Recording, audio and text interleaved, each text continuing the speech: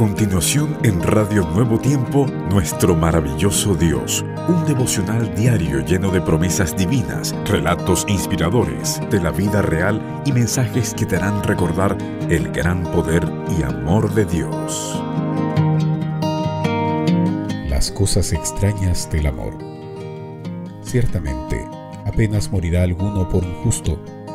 Con todo, pudiera ser que alguien tuviera el valor de morir por el bueno pero Dios muestra su amor para con nosotros en que, siendo aún pecadores, Cristo murió por nosotros.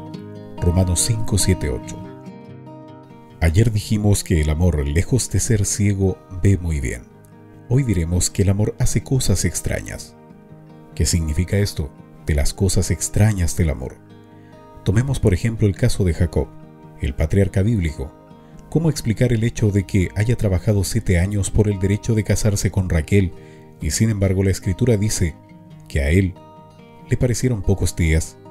Siete años son muchos días, pero no para el que está enamorado. ¿Cómo entender que Ruth la Moabita haya dejado atrás su tierra, sus parientes, sus raíces, sus dioses y todo por amor a su suegra? Todos recordamos sus palabras no me ruegues que te deje y me aparte de ti, porque donde quiera que tú vayas, iré yo, y donde quiera que vivas, viviré. Tu pueblo será mi pueblo, y tu Dios, mi Dios. No parece haber lógica en su decisión, pero esas son las cosas extrañas del amor. Ya puedes imaginar el siguiente ejemplo. ¿Cómo pudo Dios enviar a su Hijo a este mundo a sabiendas de que sería maltratado, humillado salvajemente golpeado y finalmente crucificado. ¿Puede alguien, por favor, explicarlo? ¿Puede alguien entender cómo es que Dios, a pesar de que somos pecadores, tú y yo, seamos llamados hijos de Dios? No hay manera de explicar este misterio. Sin embargo, hay al menos dos cosas que podemos hacer.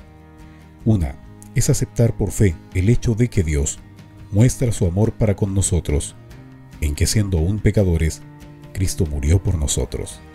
Es decir, aceptar que por amor Dios pudo ver en ti y en mí lo que nadie más había visto, seres de tanto valor como para justificar el sacrificio de Jesús, nuestro Señor. La otra cosa que podemos hacer es dar gracias a Dios por su don inefable, agradecerle por ese regalo tan precioso que nos dio en la persona de su amado Hijo, y esto es algo que podemos hacer en este mismo instante. Gracias Padre Celestial, porque no esperaste a que me reconciliara contigo para hacer de mí el objeto de tu supremo amor. Gracias por haber visto en mí un ser de mucho valor, de tanto valor, como para que tu amado Hijo muriera en la cruz donde debí morir yo. Escuchaste en Radio Nuevo Tiempo nuestro maravilloso Dios, reflexiones que te llenarán de aliento en tus desafíos del día a día, porque Jehová está en medio de ti, poderoso, Él salvará, se gozará sobre ti con alegría, callará de amor, se regocijará sobre ti con cánticos.